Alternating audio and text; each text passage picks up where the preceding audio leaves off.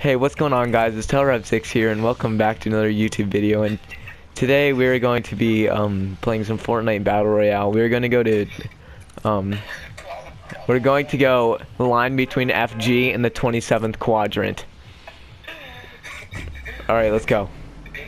So many of you might not know this, but there's a glitch here actually, where if you get your two new 3D markers to touch side by side simultaneously, and they have to be red blue colors, it can't be any other colors, and then you land right on top of them, you'll actually teleport back to the spawn island. It's a crazy glitch, guys. Can't Yeah. show you all. Uh, and if anyone's watching this, for the three people that's watching this, you just got baited.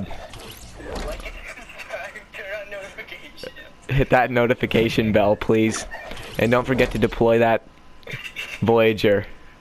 Oh, dude, I'm not gonna make it. You better not make it. Nope, not gonna make it. See ya. absolutely not make it. See ya. And as you can see, guys, my two markers have disappeared, and now I'm just gonna float right above it.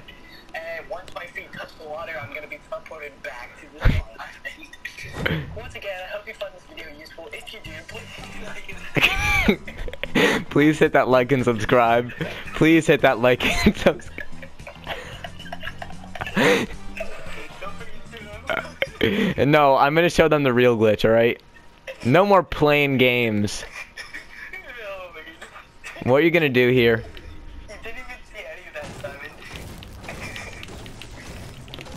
You have to hit that tree with five shots. A stair, stair, flat, stair, stair, flat. Ah! It almost worked. It almost worked.